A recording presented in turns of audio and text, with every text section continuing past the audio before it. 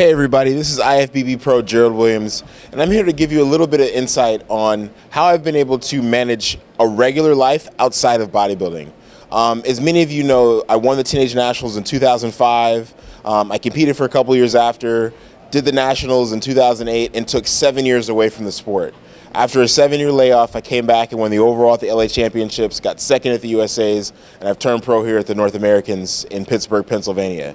Um, one of the biggest things that I've realized is in the decade that I've been doing this, wow, decade, is that the sport has changed. And in that change in the dynamic change of the sport, you have to have a life outside of bodybuilding and a career outside of bodybuilding to really be successful and live the lifestyle that you may really want to live. I don't know, you may not really want to, you know, have an upperly mobile lifestyle, but I'm pretty sure you do.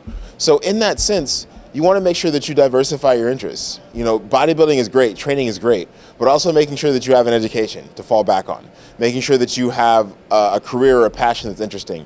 And sometimes having those things be mutually exclusive, you know, having a job that's not connected to fitness, having, you know, a, a hobby that's not connected to working out or eating or nutrition or, or science or anything like that, having this range of things to do allows you to take a fresh perspective on the sport and the mindset. You're able to step away from bodybuilding for a little bit and then jump back into it. A lot of times you'll find you get burnt out. It's like eating peanut butter for 20 weeks at a time. You get tired of it. Bodybuilding's the same way. Your mind, everything gets tired. So diversify your interests.